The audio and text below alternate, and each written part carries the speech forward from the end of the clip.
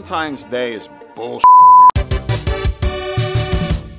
Ah, let's face it, most people hate most of the holidays. St. Patrick's Day, it's good if you like to throw up. Mother's Day, you have to act like you really love your mother. But the worst of all is Valentine's Day. Ah! Who dreamed up such a dumb, infantile holiday?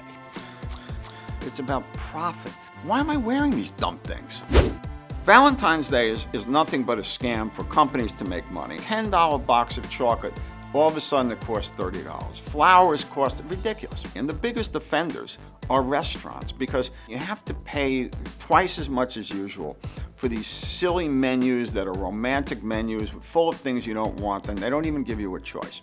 You get ravioli in the shape of hearts. You have to be adult to afford a $500 meal, and yet they treat us like we're little children. The restaurants are even worse the day after Valentine's Day, because that's when all the married guys take their mistresses out for dinner, which they couldn't do the night before. Let's bring back Al Capone's Valentine's Day Massacre for restaurants.